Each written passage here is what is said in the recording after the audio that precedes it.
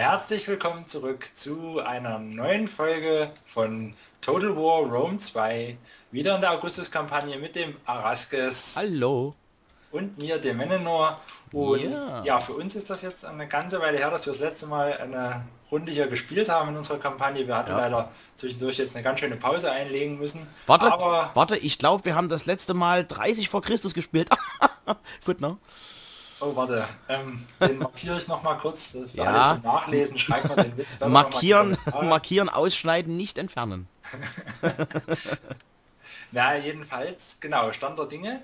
Wir haben also hier oben unseren lieben Freund Araskes, der mit seinen oktavianischen Truppen gerade dabei ist, erstens im zivilen Sektor seine Wirtschaft nach Spanien auszu, auszugliedern, hast du gesagt. Ne? Deine, deine Spanien soll Kornkammer und, und, und Geldkammer werden, so ein Ich, bisschen. Ne? ich glaube, das hast du absolut äh, richtig erkannt. die, die iberische Halbinsel, genau. Und äh, ich befinde mich im Krieg mit den, mit den, ähm, wa- was ist es gleich nochmal? Mit Nu Numidien, Ja. unter anderem. Oh, ja, mit den Numiden und äh, habe außerdem bei Leptis Magna eine Lebensrebellenarmee vor der Hütte stehen, an die ich mich gar nicht erinnern kann. Das soll aber dem Spaß keinen kein Abzug, Abbruch.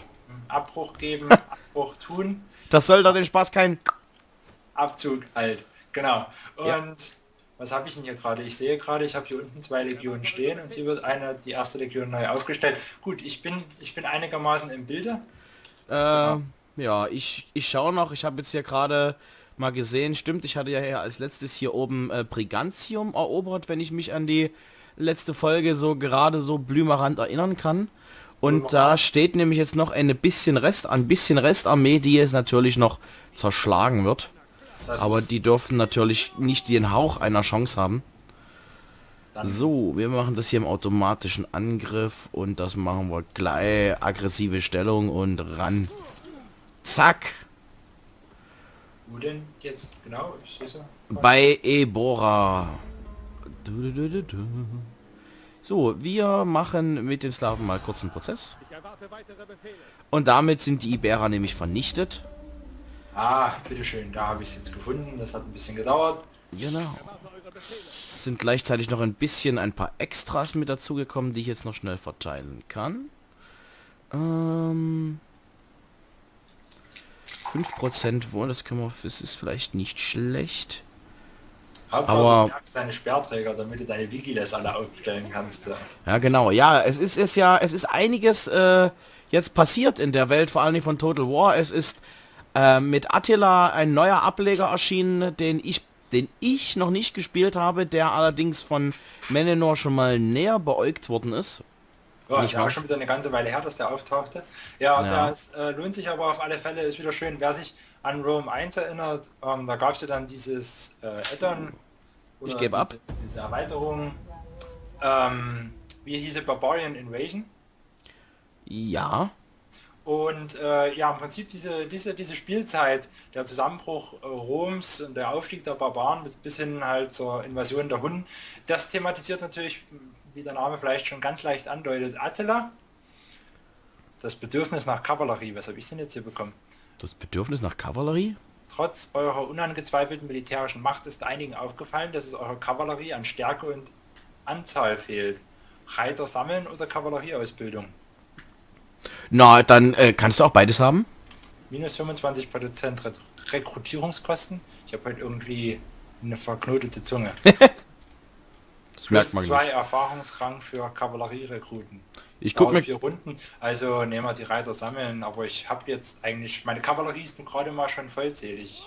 Ich bräuchte das für die Bodentruppen, na was soll's. Du hast hier eine afrikanische Rebellenarmee in Kapsa stehen. Berien ist vernichtet worden, der Mhm. Haushalt erweitert sich, äh, ja, in Gruppe schicken und wir haben die Legion 1 Acclamator hat wieder ein paar Legionäre rekrutiert. Leider habe ich kein Geld. Zusätzlich kommt noch hinzu, dass ich sehr wenig Finanzmittel habe. Na gut. Nee, genau. Ähm, ja, und das Attila ist, äh, man sieht, dass es aus dem, dem Rome 2 hier entwickelt wurde, aber es hat trotzdem eine Hand Unterschiede in der Spielmechanik, in der Spielweise. Ja. Das habe ich daneben geklickert, das war nicht so schön. Nein. Und äh, aber es lohnt sich auf alle Fälle auch mal da reinzuschauen, das zu spielen.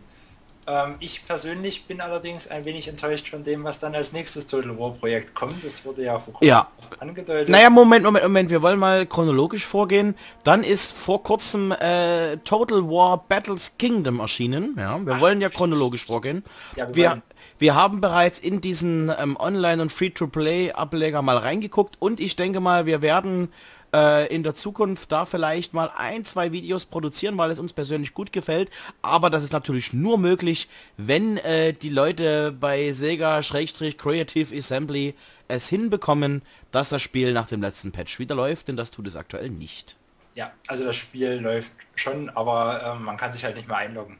Du bist äh, jetzt ein bisschen ungünstig gelaufen, sehe ich gerade. Manchmal, manchmal klappt es mit dem Einloggen, aber ja, ja. ziemlich häufig kommt der Fall, dass es dann sagt, äh, ups, Connection Lost oder so eine Scherze ja. und äh, es liegt tatsächlich nicht an uns und unserer Unfähigkeit, man mag es kaum glauben. Es liegt tatsächlich daran, dass mit dem letzten Patch offensichtlich irgendwas verschlimmbessert wurde. Ich beende meine Runde. Mhm. Denn äh, ja, ziemlich viele Leute haben das halt schon festgestellt, dass entweder heißt, es kann kein Server gefunden werden oder dass der Server timed out, also die Verbindung zum Server abgelaufen ist von der Zeit her, die Ping zu hoch war. Das ist, äh, hm. ja. das ist natürlich ein bisschen schade weil das Spiel auch die Eigenschaft hat, dass es logischerweise nicht anhält, wobei das jetzt nicht so schlimm ist. Nee, gar nicht. Also im, im, Prinzip, man sammelt ja Rohstoffe und das funktioniert halt auch, wenn man ausgelockt ist. Das ist natürlich jetzt gar nicht gut, was jetzt hier gerade passiert ist. Da was? muss ich mich mal, naja, der Kantaber hat sich gedacht, hey, ich lande mal bei Episos irgendwie an. Hast du ein Angebot? Ja, die G-Tooler. Ja. Die G-Tooler, die da ganz im Westen sitzen, haben mir gerade was angeboten. Ich nehme da ein Schutzbündnis für, für ganz wenig Geld. Das habe ich mal gemacht. Für ganz wenig Geld? So, was kommt denn jetzt hier? Die Mauri. Na gut, ich denke mal, das ist auch, das ist der Rest der Iberer, der, der Rest der iberischen... Ne, warte mal, sind das Iberer? Ich kann es gar nicht richtig sehen. Na gut. Ähm, automatischer Angriff und wir klären das hier.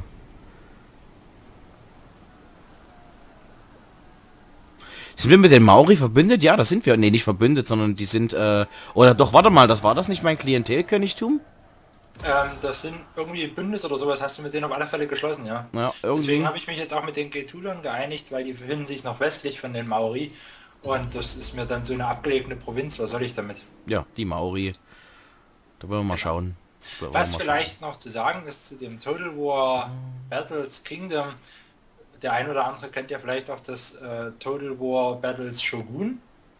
Und das wurde damals fürs Handy entwickelt oder überhaupt für mobile Geräte. Das Total War Battles Kingdom soll, wenn es aus der Beta irgendwann mal rauskommt, momentan ist es noch in der Beta und ja. PC only, ähm, wenn es denn da rauskommt aus der Nummer, soll es tatsächlich plattformübergreifend sein, sodass es dann also auch möglich ist, auf dem PC seinen Spielstand anzufangen und dann halt unterwegs auf seinem Tablet oder seinem MacBook oder weiß der Teufel was äh, zu spielen. Ja. So, das warten wir mal ab wann das soweit wird. Wie gesagt, momentan macht das Spiel einen sehr guten und lustigen Ein ja. äh, Eindruck. Es sieht sehr schön aus auch, es ist sehr hübsch gehalten.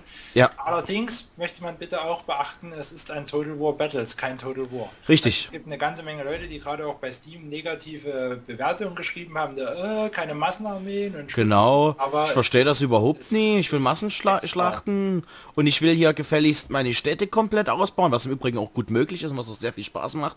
Aber wie du schon so schön sagtest, es ist halt ein anderes Spielprinzip. Ja. Es ist komplett anders. Man hat, man beginnt da im, im England des Jahres 900 zerquetschte irgendwann und das so ich bin schon durch. Ich halt, mal gleich ab. Mhm. Ja, gut. Die Story dahinter ist halt, dass das Land ist vom Krieg zerfressen, was England eigentlich schon immer irgendwo war. Mhm. Und Krieg erklärt, Marco Mann und Darkien. Na, von mir aus macht mal. Lasst euch nicht aufhalten. Mhm.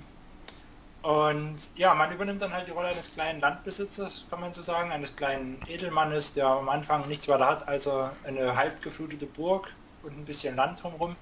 Und man fängt dann an, damit sein, sein Spiel zu beginnen, seine Länderei aufzubauen. Genau. Und das macht wirklich Spaß, aber es ist, es ist kein Total War Battles. Aber mehr wollen wir da vielleicht nicht sagen. Mhm. Wie gesagt, wir werden dazu definitiv nochmal irgendwie einen Beitrag bringen. Vielleicht haben wir den auch schon gebracht, wenn ihr das hier seht, weiß es nicht. genau, ja, das ist durchaus möglich. Genau, das war das nächste und dann hat vor einigen Tagen, also aktuell jetzt einige Tage, wie gesagt, wenn das Video rauskommt, kann es sein, dass es schon eine Weile her ist, hat okay. äh, ja Sega äh, äh, etc. die Ansage gemacht, dass ein neues Total War bereits konzipiert ist und zwar Total War Warhammer. Richtig. So, so dazu ist es folgendes zu sagen, dass wir durchaus Warhammer-Freunde sind. Aber. Aber. Also ich muss ehrlich sagen, ich finde ähm, bei allem, bei aller Freude über das Warhammer, äh, über die, dieses Warhammer-Universum und seine mittelalterliche Welt, das war, ursprünglich gab es ja nur das 40k, das Mittelalter kam ja später. Ähm, ich persönlich bin davon jetzt nicht so begeistert, dass ja. ich davon ein Total War Spiel haben möchte. Ja. Und man muss dazu sagen, ich hätte mich eher gefreut, vor allem nach dem Attila, was meiner Meinung nach sehr gut gelungen ist, sehr gut gemacht ist, hätte ich mich vor allem gefreut auf ein Medieval 3. Das klingt vielleicht jetzt ein bisschen blöd und wie eine Neuaufwärmung, aber wenn man das neue, wenn man Rome 2 gespielt hat, wenn man mit ähm, Shogun 2 vorher schon in gewisser Weise das Rome 2 und letztes Attila gespielt hat, dann wünscht man sich eigentlich ein Spiel, ein Medieval 3 mit der, mit der Spielmechanik, mit, mit einer angepassten Spielmechanik, auch mit der Spielmechanik. Und das ist halt schade, dass man dann mhm. diesen, diesen Weg geht zu, zu Warhammer, ist mir irgendwie ein bisschen... Ja. Ich, ich muss halt persönlich noch sagen, also ähm, ich habe nun vielleicht auch, was das betrifft, ein paar mehr Sachen gespielt, die, die Dawn of War Geschichten 2 äh, und so weiter und so fort, was mir auch immer viel Spaß gemacht hat, aber ich muss eben halt auch sagen, für mich ist Total War auch immer irgendwie dieser realgeschichtliche Hintergrund und ja. das wird ja jetzt im Prinzip mit, mit Warhammer ja nun völlig aus den Angeln und Fugen gehoben, wenn man dort ein äh, Fantasy-Szenario einbaut. Also wie gesagt, man muss mal schauen, es kann natürlich auch einen Reiz vers äh, versprühen, wenn man dann gewisse neue, also wenn man statt ähm, Nationen dann, was weiß ich, Zwerge und Orks und äh, ähm, ja, Imperiale und so weiter spielen kann.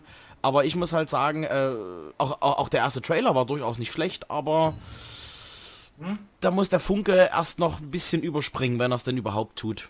Ja, also wie gesagt, mich reizt jetzt erstmal so auf Anhieb gar nicht, mhm. muss ich sagen. Das, ich ich finde es ein bisschen schade, dass man es macht. Gut, es wird sicherlich auch seine Fans und Freunde finden. Vielleicht gibt es auch welche, die sehnsüchtig auf überhaupt so etwas gewartet haben. Ja, ich denke, naja, nach den, äh, nach einigen äh, Tweets und keine Ahnung, was dort äh, äh Facebook und so weiter zu, zu sehen, da gibt es schon eine positive Resonanz dazu. Ja, ja. das denke ich schon. Äh, wie gesagt, auch gerade was den Fantasy-Sektor angeht, zwar hat das ist zwar Total War im Prinzip ähm, gewisserweise ein Novum von, vom Hersteller her, aber es ja. gab ja damals für Rome 1, glaube ich schon, und auf alle Fälle dann für Medieval 2 die äh, Third Age Mod, die ja das äh, Total War Spielprinzip nach Herr der Ringe katapultiert hat, was unglaublich Spaß gemacht hat. Die Mod war unglaublich gut gemacht. Ich habe selber reingespielt, in die Medieval 2 Version zumindest. Mhm. Ich fand die sehr schön und sowas vom Herstellerseite her mal komplett konzipiert, mhm. würde mich natürlich auch reizen, denn man muss auch sagen, dass äh, Medieval 2, die Mod für Medieval 2 war zwar gut gemacht und schön gemacht, aber es war halt schon eine, die Engine ist halt aus heutiger Sicht schon eine ganze Weile alt und die Möglichkeiten, die man damals hatte. Und man muss natürlich auch sagen, dass äh, die Engine einfach zum Teil auch gesprengt wurde von so Sachen wie Minas Tirith etc. pp. Wo heute ja. natürlich die, die Entwicklung ganz, ganz anders aussieht. Streitkräfte. Ach Warum ja. Ich keine Einheiten. Ach so, weil ich nicht dran bin. mein Fehler. Du ich wollte mal nach meiner, nach meinem, nach meinem Senat und alles gucken. Siehst, das habe ich jetzt zwei Runden lang verpasst. Tut mir natürlich Ja, leid. ich kann mal einen Blick auf meinen Senat werfen. Ich bin aktuell, ja, der Einfluss steht bei mir bei 39 Prozent. Das Problem ist natürlich, also das kann natürlich, das kann natürlich positiv und negativ sein, dass man also mit jeder Stufe hier gewisse Boni oder Mali erhält. Man will natürlich Boni bekommen. Allerdings steigt mit dem Machtanspruch auch der Bürgerkriegspunkt, äh, äh, das habe ich nämlich gehabt. Ich habe nämlich mal in Eigenregie vor einiger Zeit ähm, mir nochmal das Caesar DLC äh, mit dem Gallischen Krieg angeschaut. Und da ist mir nach einigen hervorragenden Anfangserfolgen nämlich genau das passiert. Das ist tragisch. Und ähm, das ist nicht weiter schlimm gewesen, aber ähm, man merkt eben halt, ja, je mehr man erobert, umso erfolgreicher man ist, umso mehr Imperium Punkte man sammelt, umso komplizierter wird es auch, das alles zusammenzuhalten. Ist ja auch nicht unbedingt unrealistisch. Ja. Wobei Denn, ich jetzt gerade... Entschuldige. Ja, nee, erzähl. Hm, Okay, ich habe ja selber noch die, die Hauptkampagne, die eigentliche Hauptkampagne am Laufen. Ich habe ja später angefangen als du. Mhm. Und ähm, ich habe da ein bisschen das ja, Problem, den Fakt, dass ich ziemlich großzügig damit umgegangen bin, mir es mit den Senatoren zu verscherzen, was dafür sorgt, dass die Machtverteilung im Senat zwischen den großen Familien immer noch ziemlich gleich ist, wodurch meine Bürgerkriegsgefahr nicht steigt. Also ich habe mittlerweile ein ziemlich großes Imperium, was fast an die, an die Originalgröße des alten römischen Imperiums rankommt, abzüglich Britannien und Griechenland. Und ich habe kein Problem mit Bürgerkriegsgefahr. Hm, lustig, okay. Hm. Dafür habe ich das größte Problem, dass ich jetzt im Fernen Osten, beziehungsweise eigentlich ist es ja der Nahe Osten, nicht mehr vorwärts komme, weil äh, jetzt in meiner Einzelspielerkampagne der Feind dort diese ganzen seine gesamten Agenten dorthin gehauen hat, also hier diese Streiter, Mhm, mhm. ne? und die leben meine Armee bei jedem Schritt und, und dezimieren die. Sobald ich über meine Grenzen komme, steht die sofort, hängt die, steckt Ja, ja, das kenne ich, Das ja. ätzend. das kenne ich. So, Was Naja. Truppen sind die wieder einsatzfähig? mein Ja. Octavian, mein Octavian in Rom, der wird vermutlich jetzt bald zum Einsatz kommen, denn wir planen natürlich jetzt so langsam Stufe 2 in diesem äh, schönen DLC und Stufe 2 ist äh, der Kampf gegen unseren letzten aktuell noch Verbündeten Antonius, der sich hier oben gerade, wenn ich das richtig sehe, nein. Ach so, das sind hier oben die die die die Balkanvölker, die sich hier die Hucke wund schlagen. Aber das wird denke ich mal auch noch ein ganz schöner Akt, denn Antonius hat sein Reich ganz schön ausgedehnt. Griechenland, Teile Nordafrikas müsste eigentlich noch mit Ägypten verbindet sein und Teile des Nahen Ostens. Da haben wir ganz schön zu tun. Das sind glaube ich auch, wenn ich mich noch richtig äh, erinnere, sind das nämlich auch Ziele. Wir müssen 100 Siedlungen beherrschen, entweder durch direkten Besitz oder über Klientelkönigtümer Tümer oder Militärbündnisse. Wir haben aktuell 44. Und wir müssen noch Syrien beherrschen. Und Syrien, da geht's über kurz oder lang gegen Antonius. Ja. So, ich muss mal kurz eine neue Forschung festlegen. Das dauert ein bisschen. Ich muss erst mal wieder lesen. Wie gesagt, es ist eine Weile her, dass wir das das letzte Mal gespielt hatten, Das ist richtig. angegangen sind. Man sehe es uns nach. Oh je, da hat ja aber wieder sein Handy nicht ausgemacht bei der Aufnahme.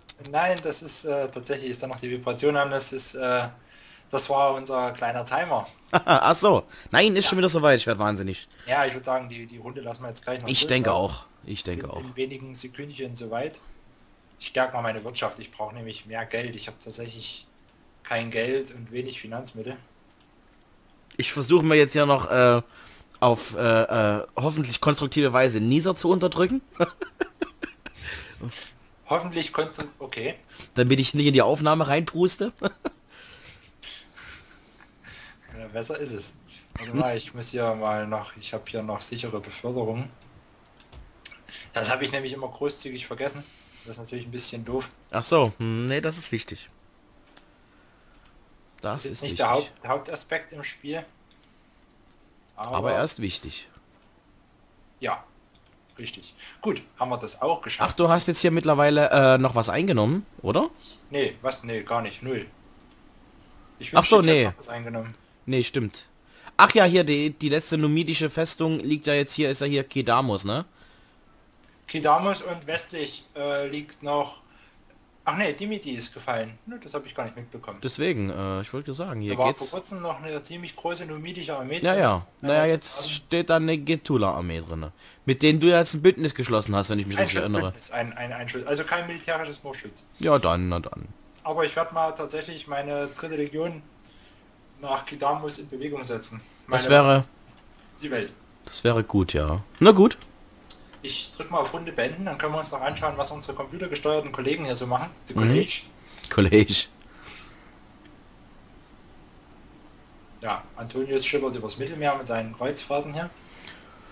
Costa Antonius. Der war ja bisher auch ganz schön aktiv, in Anführungsstrichen. Ja, so null. Irgendwie gar nicht. Ich habe trotzdem ein bisschen Respekt vor den Ägyptern, weil die ja diese, diese Phalanx-Einheiten haben. Was Oh denn ja. schon wieder? die Getuler wollen noch militärischen Zugang. Nein, da unten, das, die Provinz gehört mir. Es tut mir leid, Freund. Mhm, das kannst du auch wissen. Da hast du aber noch gerade rechtzeitig da vorne einen Sperrriegel reingehauen, du. Jetzt will der Mauri von mir die, die, also jetzt hört's aber auf. Nein, nur weil ihr alle Numidia hier, nee, nee. Toll, super. Hey. So, und ich würde sagen, wenn ich dann Land und Boden haben will, müssen wir auf alle Fälle gegen Antonius marschieren. Geht nicht anders. Warte, ich habe gerade ein Ereignis, die Ludi Plebei. Nachdem die Römer die Herrschaft der etruskischen Könige 510 v. beendet hatten, war Politik der Bereich der aristokratischen Patrizier, die sich von der Masse der freien römischen Bürger, den Plebejern, weiter abtrennten. Erst nach Auflösung der Ständekämpfe im Jahre 287 v. Chr. erhielten die Plebejer politische Repräsentation und Gleichberechtigung mit den Patriziern in vielen Belangen. Als Demonstration ihres Stolzes und ihrer Identität organisierten die plebejischen Ädilen das Amt der öffentlichen Ordnung und der Feste, die Ludi Plebei oder plebejischen Spiele. Sie fanden uns so weiter und so fort. Ja, ein sehr bewegender da gibt es für uns ein paar Boni. Sehr bewegender Teil der römischen Geschichte mit den Grachenbrüdern. Das war natürlich eine ganze... Es hat sehr lange gedauert, bis auch die unteren Bereiche der römischen Bevölkerung mal was zu sagen hatten. Ist ja wie heute, ne? also, in, also in dem Sinne, wir sehen uns äh, bald zur nächsten Folge, zu ein bisschen mehr Geschichte und zu ein bisschen mehr aufbauen und hoffentlich bald mal wieder zu ein bisschen mehr Schlachten. Und ein bisschen mehr Turbo. Genau. Bis dahin, macht's gut. Tschüss.